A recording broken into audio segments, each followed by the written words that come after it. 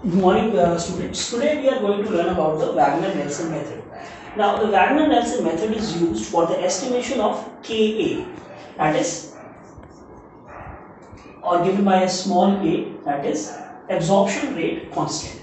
Now the absorption rate constant or Ka can also be determined by the curve fitting method. The Wagner-Nelson method is an alternative to the curve fitting method. The advantage of the Wagner-Nelson method is that in this method we do not have to assume that whether the drug distribution absorption process follows a first order or a zero order process. This method involves the estimation of the percentage unabsorbed plots.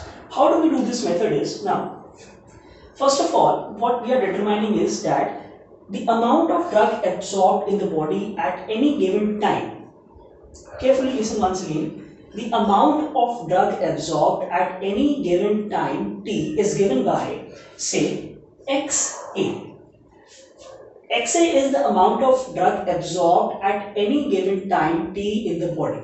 Xa is going to be equal to x plus xe now x is equal to x plus xe what is x? X is the amount of drug in plasma Xe is the amount of drug that has been eliminated from the body. So, the amount of drug absorbed at any given time t is the sum of x plus xe. Therefore, now as we have studied that x can be given by VDC. What is VD? Volume of distribution. C is the plasma concentration. Now, similarly, xe can be given by ke into vd auc with the limits going from time 0 to time t. This has already been covered in one compartment models. Now, substituting these values in equation 1, what do we get? xa becomes vdc plus ke vd auc limits from 0 to time t. The amount of drug absorbed at any given time t can be given by this equation. Now, if we consider the amount of drug absorbed in the body from time 0 to infinity, over here the limits are from time 0 to time t. If we change these limits from time 0 to infinity, what will happen to this equation? Xa infinity becomes vdc infinity plus ke vd auc area under the curve the limits changing from time 0 to infinity. We are considering this as equation 2 now carefully note this point that concentration to the limit infinity is going to be 0. See, since concentration z becomes 0, therefore this term will become 0 or we can say that xa infinity becomes ke vd auc limits 0 to infinity. Consider this as equation 3. Now, in order to determine the fraction of drug unabsorbed. The fraction of drug unabsorbed is given by xa upon xa infinity. This is the fraction of drug unabsorbed. Remember in the Wagner-Nelson method we determine the amount of drug that is still unabsorbed. So in order to determine the amount of drug that is still unabsorbed we determine the fraction xa upon xa infinity which is nothing but we have to divide equation 2 by equation 3 so what do we get? Vdc plus ke vd auc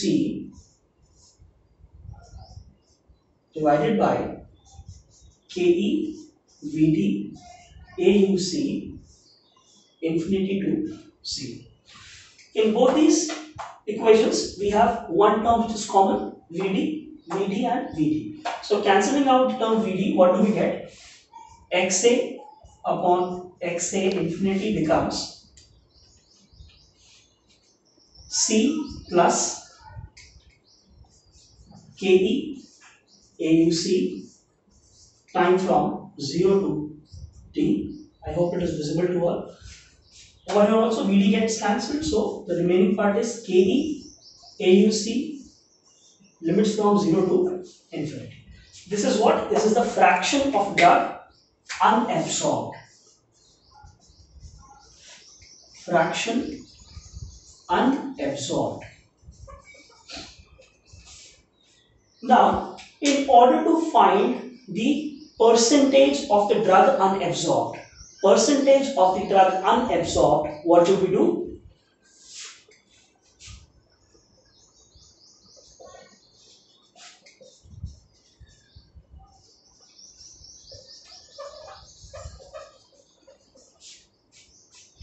it is given by 1 minus xa upon xa infinity multiplied by 100 okay? That is 1 minus c plus ke auc time t 0 divided by ke auc this whole multiplied by 100. This fraction or this equation is going to give us the value of the percentage of drug unabsorbed. That is what is required to be determined. Now, I'm just moving this part from here.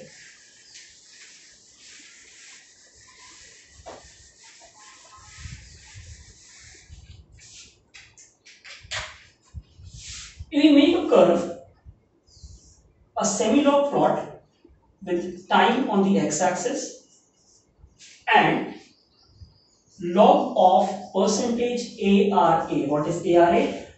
Amount remaining to be absorbed. This fraction is ARA or amount remaining to be absorbed. What do we get? We get a straight line curve like this with the slope equal to minus Ka upon 2.303 from where we can determine the value of Ka or the absorption rate constant. So in order to sum up once again the Wagner-Nelson method, do remember that we determine the fraction xa upon xa infinity. What is this fraction? This is the fraction of drug absorbed. Fraction of drug which has been absorbed sorry, just a slight correction over here. This is the fraction of drug which has been absorbed. Now, in order to determine the fraction of drug unabsorbed, we subtract this fraction from 1, that is 1 minus this. To determine the percentage, we multiply with 100 and we get the ARA or the amount remaining to be absorbed. Remember, ARA is amount remaining to be absorbed. Using the a semi-log plot of ARA amount remaining to be absorbed versus time, we get a straight line curve in which the slope is minus Ka upon 2.303 from which we determine the value of Ka or the absorption rate constant. So students, this method is easier as compared to the curve fitting method and it gives more accurate results. Okay, one more thing is the disadvantage of this method is that this method can be used only if the drug follows one order, one compartment model. Only in case it follows one compartment model, not in the case of two compartment or multi-compartment models. So students, please go through this derivation once again. Go, uh, go through the book, read it once again. And in case you have any doubts, please feel free to contact me. Thank you.